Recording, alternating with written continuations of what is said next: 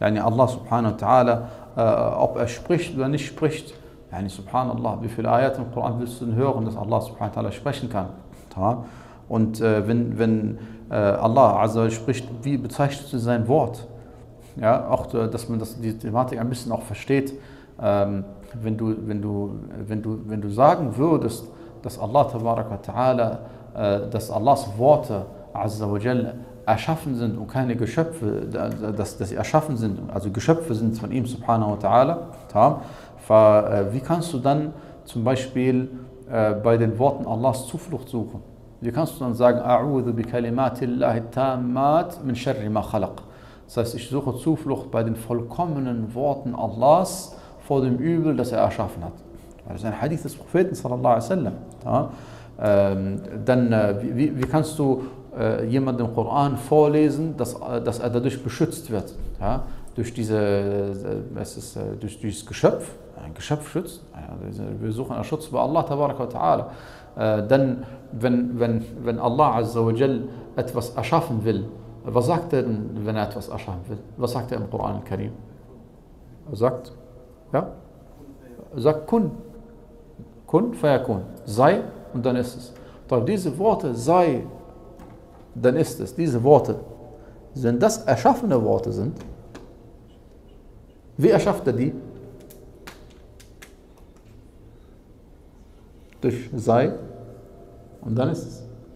Und dieses Sei, das ist auch erschaffen. Wie erschafft er dieses? Na, deswegen vom logischen Standpunkt her, Allah subhanahu wa ta'ala, Worte sind nicht erschaffen. Seine Worte sind ewige Worte er etwas erschaffen will, und auch im Koran Karim, wenn du schaust, Allah Tabaraka, nicht aufnehmen bitte, sag Allah. Allah subhanahu wa ta'ala hat ähm, im Koran Karim, was hat er gesagt? Ar-Rahman, علم القرآن خلق الإنسان der Al-Abama oder der Gnadenvolle علم القرآن hat den Koran gelehrt. Nicht erschaffen, gelehrt. Und danach sagt er, den Menschen hat er erschaffen. Khalaq al-Insan. Ja? Und das findest du im Koran wie gesagt, an mehr als einer Stelle, dass er subhanahu wa ta'ala niemals das Wort erschaffen äh, gebraucht in Bezug auf den Koran. Koran ist was? Anzala. Er hat den herabgesetzt. Inna anzalnahu fi laylatul qadr. Ja? Äh, über seine Worte spricht er, dass er sie spricht. Allahu Musa taklima. Allah hat mit Moses ohne Vermittler gesprochen, direkt gesprochen. Diese, diese, diese Sache zieht sich durch den Koran durch. Du findest im Koran äh, keine Aussage, die sagt eindeutig, der Koran ist äh, ein Geschöpf Gottes oder ähnliches. Nein. Nur du findest allgemeine Aussagen, wo du denken könntest, es passt darunter, Allah ist der Schöpfer von allen Dingen. Aber wenn du den Koran reinpackst, warum packst du nicht Allah selbst rein?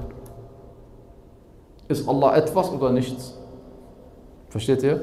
Deswegen, das, das, das geht, äh, wie heißt es, diese, diese, äh, diese Aussage beinhaltet natürlich alles Erschaffene. Alles Erschaffene, Allah ist davon der Schöpfer, subhanahu wa ta'ala. Ähm, naja, auf jeden Fall, äh, diese Thematik äh, unter Ahl Sunnah al-Jama'a gilt gemäß Ijma', dass der, dass der Koran die Worte Allah. Deswegen sagte Imam Ahmad, rahimahullah ta'ala, ähm, der Koran, oder die Ahl Sunnah sagen, der Koran kommt von Allah und kehrt auch zu Allah wieder zurück.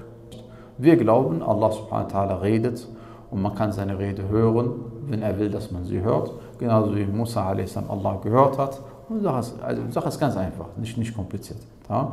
Genauso wie Allah subhanahu wa ta'ala mit Muhammad sallallahu alaihi direkt gesprochen hat, wir glauben daran, Sache ist erledigt. Aber die äh, Asha'ira, sagen nein. Die sagen, das, was wir heute haben, ist ein Geschöpf Allahs. Und dieses Geschöpf deutet auf die Bedeutungen hin, die Allah subhanahu wa ta'ala bei sich hat. Sie sagen nicht mal, dass er spricht in dem Sinne, wie wir sprechen. Wenn du sie fragen würdest, spricht Allah? Sie sagen, ja, er spricht. Aber wenn du sie fragst, was meinst du denn mit dem Sprechen, dann sagen sie, ich meine damit sein inneres Gerede, das heißt seine Gedanken. Sie sind das Kalam Nafsi. Und deswegen muss man aufpassen, wenn man sagt, die Asha'ira glauben an sieben Eigenschaften, alle anderen interpretieren sie um, ist nicht ganz sauber. Weil eigentlich glauben sie an äh, diese Eigenschaft des der Rede Allahs, also nicht so wie die Ahl Sunnah al wir, wir sind sehr einfach, also wir sind nicht kompliziert in diesen Sachen, deswegen unser Aqid ist einfach. Wir glauben es so, wie es im Koran steht. Allah sagt, dass er Moses gerufen hat und die Ulama haben alle darunter verstanden, wenn, wenn Allah jemanden ruft oder Allah mit jemandem redet, dann heißt es, dass, äh, äh heißt es, äh, dass sie hier die Stimme Allahs gehört haben und diese Stimme besteht aus Buchstaben und aus Tönen. Ja, so einfach, weil das ist, das ist das, was sich zwingend daraus ergibt. Das ist, das ist das, was beinhaltet. Das ist nicht mal eine Interpretation des Ganzen. Ja. إذ ناداه ربه بالوادي المقدس طوى als sein Herr ihn im heiligen Tal Tuwa rief. Ja, dieses Rufen im Arabischen bedeutet, Musa hat ihn gehört. Wenn du was anderes sagst, dann ist das, hat das mit der arabischen Sprache nichts mehr zu tun. Und vor allem ist der Koran, den Karim wäre dann, Gott bewahre, kein Buch der Rechtleitung. Also wenn Allah etwas sagt und ich verstehe daraus etwas, was, was Kufr ist, äh, obwohl das die arabische Sprache so hergibt, dann, äh, dann würde ich mich fragen, warum, warum hat es das dann so ausgedrückt? Warum hat er dann nicht irgendwas anderes gesagt? Ja? Weil das ist, äh, für Ahl Sunnah Jama'a ist die Sache sehr, sehr eindeutig und diese Aussagen sind Kufr. Das heißt nicht, dass die Ash'ara Kuffar sind, aber diese Aussagen, die sie treffen, dass sie sagen, der Koran, den wir heutzutage bei uns haben, ist ein Geschöpf Allahs, das ist Kufr. Wenn jemand behauptet, äh, Allah subhanahu wa ta'ala würde vermenschlicht werden, wenn man sagt, er spricht, äh, dann gibt es verschiedene Arten darauf zu antworten. Die eine ist zu sagen, wenn das, wenn, wenn, wenn das falsch wäre, hätte Allah es nicht so gesagt. Das ist die einfachste Sache. Äh, die zweite Sache ist, dass man schaut, glaubt er denn selbst an andere Eigenschaften Allahs, dann kann man mit ihm das gleiche Spiel machen. Weil du kannst ihm dann sagen, okay, glaubst du, dass Allah hören kann? sagt ja, wenn er kein Jahmi ist. Ja? Sagt, wenn er, Jahmi, er dann sagt, wenn er zu den Asha'ira gehört, wenn er zu den Mu'tazila wird er wahrscheinlich sagen ja.